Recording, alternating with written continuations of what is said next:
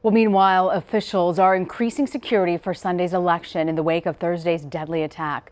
French President Francois Hollande says an extra 50,000 police will be on hand to secure some 67,000 polling stations across the country.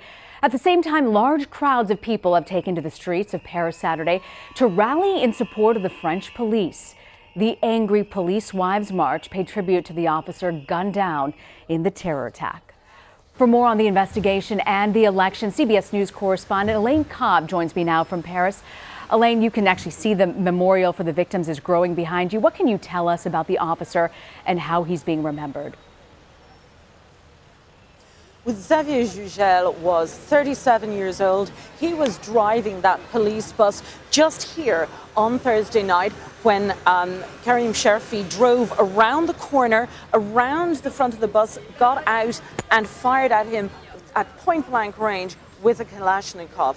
Now, Jugele had just celebrated the end of his time with his unit of the police because he was about to change service to join the judici judicial police.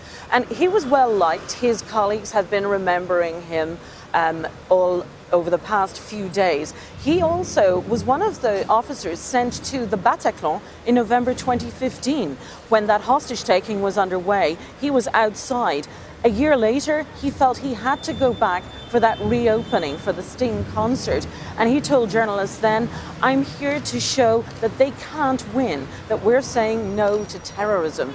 And today, people are still remembering him. There are flowers here and French flags in uh, and messages offering support to his family and to his colleagues, and also saying France is with the police, that we are supporting them in their efforts to keep us safe.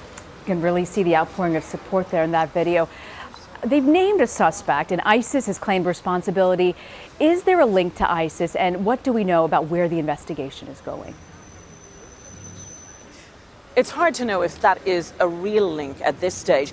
When ISIS first claimed it, it they jumped on it in, with amazing rapidity. They're not usually that quick, and they named a Belgian um, ISIS member, and it was not him. So it's unclear yet. Now, police did find a handwritten note they believe fell out of his pocket that pledged allegiance to ISIS, and they found other notes in the car with other police addresses. But he was known as someone who attacked the police. He's been in jail for that. He tried to kill two police officers um, and was sent to jail in 2005. He threatened another police officer just this uh, January past and was detained by police for a few days. But they found no links to radical Islam at any point during his 14 years in prison or in recent times. So we're still not clear and we know tomorrow are the presidential elections will are expected to be conducted.